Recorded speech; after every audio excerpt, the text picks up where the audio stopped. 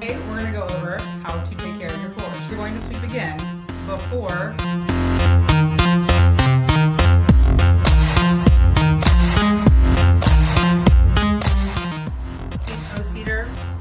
system. Do not use this. This is for the guests, but it should always be in the.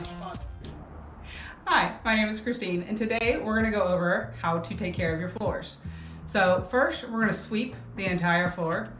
Then we're going to vacuum, and we are going to sweep again before we mop with our um, spin brush mop head, making sure that you have a clean mop and clean mop water.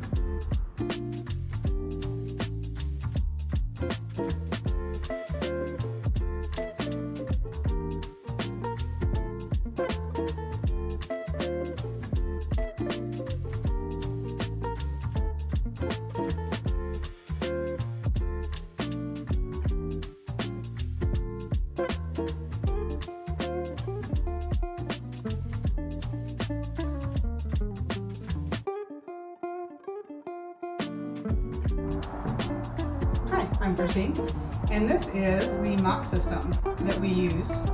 So you have your handle. This is a spin O'cedar mop system, and you have a clean um, mop head. So there's always, there should be always one in the unit for the guests. So please, again, do not use this. This is for the guests, but it should always be in the closet.